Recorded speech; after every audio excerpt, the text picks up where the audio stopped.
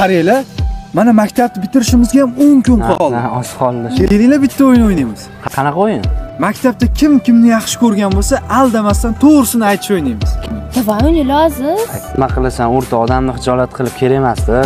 o'rtoq nima hijolat bo'lasan agar aytishga hijolat bo'lsang mana qog'ozga yozib ayt Manda ruchka bor. Ha, mayli, shunaqa qilaylik. endi kim kimni yaxshi ko'rishini hozir o'qib bilamiz.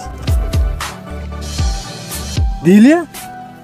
Dilyani yaxshi ko'rasanmi? Qanaqa o'rta? ey 10 yildan beri yaxshi ko'rishingni aytmadingmi? Voy pismiq yomon pismiq ekansan ey 10 yil a 10 yil. Qani? Qani? Aziz san ham azizni yaxshi ko'rasanmi? 10 yildan beri bir biringni yaxshi ko'rgansan a lekin bir biringga aytmagansan a pismiqlar Ke o'rta, sanikini ham ko'raylik. to'xta to'xta to'xta to'xta. To'g'risini aytaymi? Man maktab payti hech kimni yaxshi ko'rmaganman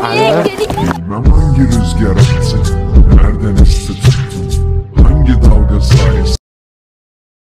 olib ketdi gaplarim gaplarim gaplarim. Senga yozgan xatlarim